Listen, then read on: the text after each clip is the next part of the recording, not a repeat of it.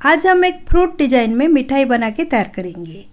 आप देख सकते हैं, ये सीताफल या कस्टर्ड एप्पल। बहुत सारे डिज़ाइन में फ्रूट स्वीट बनता है। आज हम काजू की पेस्ट से इसको बना के तैयार करेंगे। जिस तरीके से काजू कटली बनता है, उसी तरीके से बनाना है। बस डिज़ाइन में फ़र्क रहता है, किस तरीके से बनाने से प्रॉपरली फ्रूट डिज़ाइन उभर के आता है। चलिए रेसिपी शुरू करते हैं। मिठाई के लिए आधा किलो काजू मैंने ले लिया है। मिठाई के लिए जो काजू यूज़ होता है, वो हमेशा अच्छा क्वालिटी वाला काजू नट्स होता है।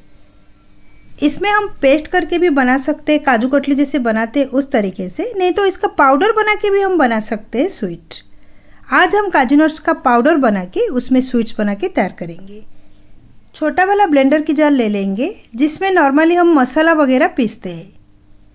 उसमें हम काजू को ले लेंगे। थोड़ा थोड़ा करके तीन चार बार में काजू को हम ब्लेंड करके तैयार करेंगे। बहुत ज़्यादा नहीं लेना है ब्लेंडर के आधे तक लेके उसको पाउडर बना देंगे। काजू नट्स का अभी पाउडर बन चुका है। आप देख सकते हैं इसका टेक्सचर एकदम बारीकी सा पाउडर बनाना है मिठाई के लिए। अगर बारीकी से नहीं बना सकते या थोड़ा भी दरदरा उसमें रहता है तो छन्नी में उसको छान के फिर यूज़ करना है। लेकिन ये प्रॉपरली अभी बन चुका है पाउडर इसको हम यूज़ करेंगे। एक पैन में ले लेंगे 500 ग्राम शक्कर। जितने क्वांटिटी में हम लेंगे काजू नट्स उसके हिसाब से शक्कर लेना है सेम क्वांटिटी में। 250 ग्राम मैंने डाला है, अभी और 250 ग्राम ले लेंगे टोटल आधा किलो शक्कर। आधा किलो शक्कर में डालेंगे 250 ग्राम पानी। जितना हम शुगर लेंगे, उसका आधा क्वांटिटी में पानी डाल के उसका शुगर सिरप बनाना है। बहुत ज़्यादा नहीं डालना है, नहीं तो मेज़रमेंट इधर उधर हो जाएगा। फिर जब हम बनाएँगे काजू की पेस्ट से स्वीट, अच्छे से बाइंडिंग नहीं होगा। बीच बीच में इसको मिलाते हुए हम शुगर सिरप बनाएँगे। काजू नट की मिठाई के लिए हमको एक तार वाला कंसिस्टेंसी में शुगर सिरप चाहिए। तो थोड़ा सा टाइम लगता है। फ्लेम को मैंने अभी हाई रखा है। धीरे धीरे शुगर पानी के साथ मिलते जाएगा। चाशनी बनाते हुए अभी दो मिनट के ऊपर हो चुका है और शुगर भी अच्छी तरीके से पानी के साथ घुल चुका है। हाथ में लेके थोड़ा सा चेक करेंगे। शुगर सिरप तार वाला कंसिस्टेंसी में नहीं आए तो और थोड़ा सा हम चाशनी को उबालेंगे। फिर से एक बार चाशनी को चेक करेंगे। आप देख सकते हैं, एक तार बन रहा है इधर। और ज़्यादा नहीं उबालना है चाशनी को। इसी टाइम हम इसमें काजू नट्स की पाउडर को डाल देंगे।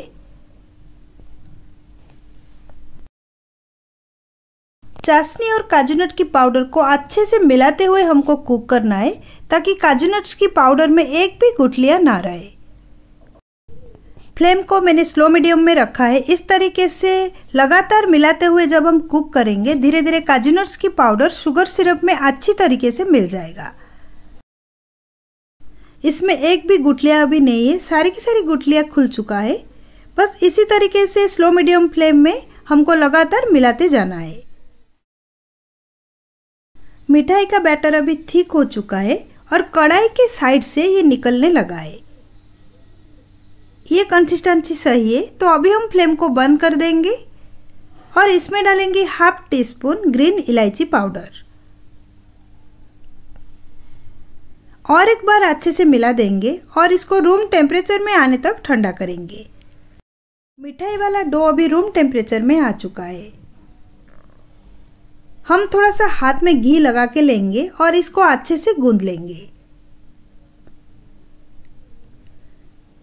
और एक बार इसको गूंद के चिकना करेंगे, ताकि इसमें हम मिठाई सेप में बना सके। एक बात की ध्यान रखें, अगर थोड़ा सा स्ट्रांग हो गया काजू वाला डो मिठाई बनाने के लिए सेप में नहीं आ रहा है तो फिर उसमें आप दो तीन बूंद गुनगुना दूध ऐड करके उसको और एक बार गूंद लीजिएगा, फिर वो सफ्ट बन जाएगा और कोई भी सेप में आप मिठाई बना सकते हैं। काजू की पेस्ट से पहले हम छोटा छोटा गोला बना देंगे। इस तरीके से बहुत बड़ा नहीं लेना है, बस जिस साइज़ का हम रोटी बनाते हैं, उसका आधा साइज़ का मैं ले रही हूँ। ये कस्टर्ड एप्पल का बीच वाला हिस्सा हम बना के तैयार करेंगे इसमें। फिर हमको बहुत सारे छोटा छोटा गोला बनाना है। बहुत ही छोटा छोटा जो कि कस्टर्ड एप्पल की साइड में हम लगा के उसका सेप देंगे। अभी हम छोटे बड़े सारे जो गोले बनाए हैं, उसको सेप दे देंगे।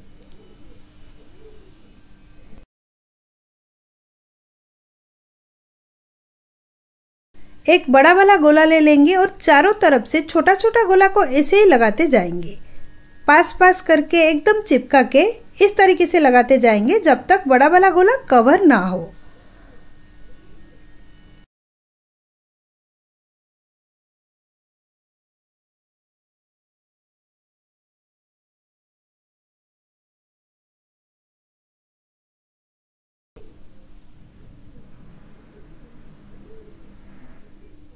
अभी हम हाथों में लेके इसको थोड़ा सा प्रेस करेंगे, ताकि अच्छे से सारा गोला चिपक जाए और सारे जो कस्टर्ड एप्पल को हम सेम तरीके से बना के तैयार करेंगे। हाथों में दो बूंद लिक्विड ग्रीन फ़ूड कलर ले लेंगे। पहले हम हाथों में फ़ूड कलर को फैला के उसमें स्वीट को डाल के इस तरीके से कवर करेंगे। इसमें ब्रश वगैरह की ज़रूरत नहीं है, इसी तरीके से ही ये स्वीट बनता है। अभी आप देख सकते हैं कितने अच्छे से एक को हमने कलर कर दिए है। सारे कस्टर्ड एप्पल को सेम तरीके से हम कलर करेंगे थोड़ा थोड़ा ग्रीन कलर लेके, हाथों में, चारों तरफ़ से उसको लगा के।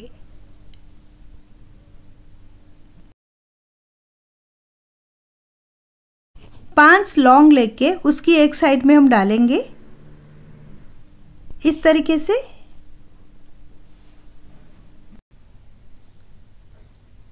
अभी हमारा फ्रूट डिज़ाइन में मिठाई बन के तैयार है। इसका कलर भी कितना अच्छा है और कितना भी सुंदर है दिख रहा है। ये रेसिपी आप भी एक बार इस चौहर के सीज़न में ट्राई करें। रेसिपी के बारे में आपके अनुभव कमेंट सेक्शन में शेयर करें। इस तरह की बहुत सारे रेसिपीज़ के लिए मेरे चैनल को सब्सक्राइब करें और राइट साइड में जो बेल का आइकन है उसको ज़रूर क्लिक करें, ताकि मेरे आने वाले वीडियो का नोटिफिकेशन आपके पास पहले पहुँच सके।